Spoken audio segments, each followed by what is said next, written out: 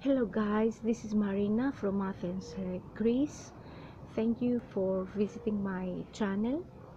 Today, I would like to um, um, talk to you about my Pachycereus pringlei cactus. Uh, I salvaged uh, this uh, cactus. It was uh, living in um, very unfavorable conditions in uh, in a Greek uh, nursery. Uh, you can see that uh, it, has um, scars on the neck of the cactus and you can see that it is very narrow there.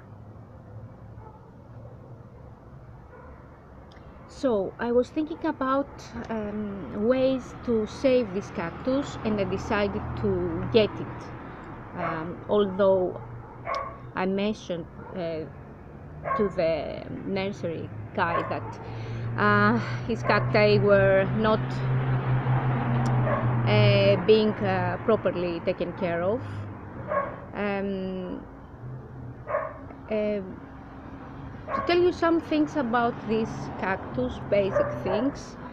Um, this is called um, Mexican giant, uh, giant uh, cardon cactus, or um, the proper Latin name, botanical name is Pachycereus pringlei.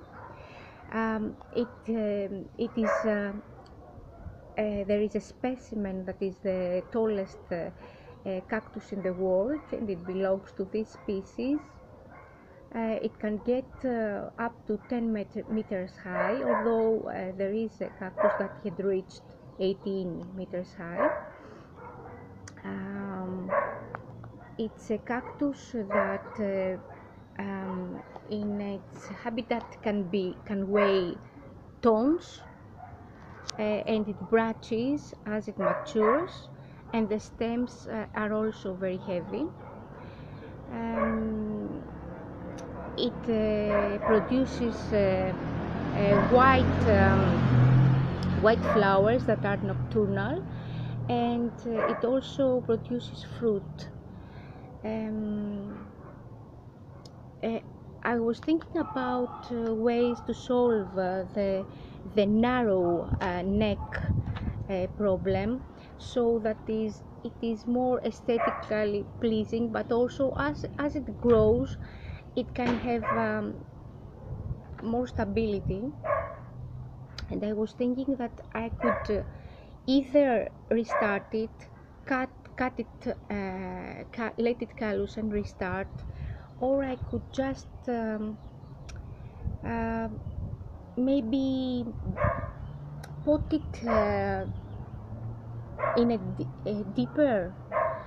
Uh, but I'm afraid that um, the neck is gonna rot if it's uh, um, in a deeper soil. So I was thinking of um, putting it in a, a larger pot for starters. I have also I have already repotted it but you can see that it's already outgrowing uh, its pot.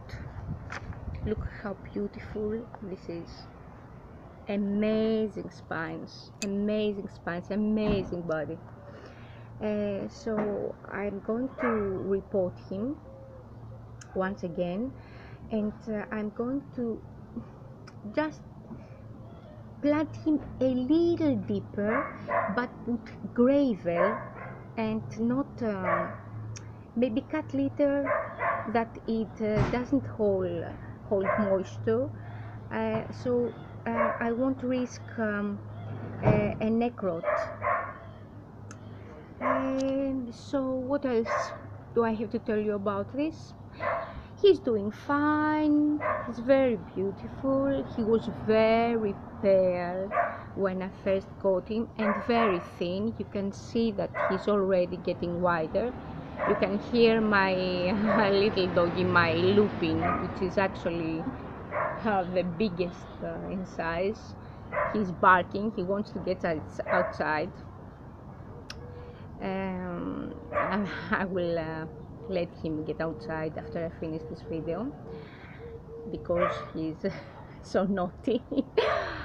um, that's all for today, guys. I hope you enjoyed seeing my Mexican giant Cardon, which is still a juvenile. And uh, thank you for visiting. Sending you much love, positivity from Greece, guys. Love you. Bye.